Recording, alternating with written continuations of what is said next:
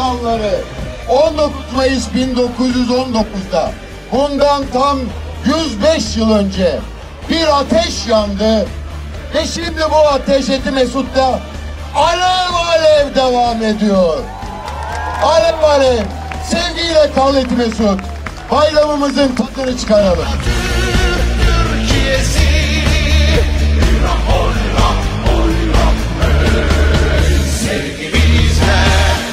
He leads them.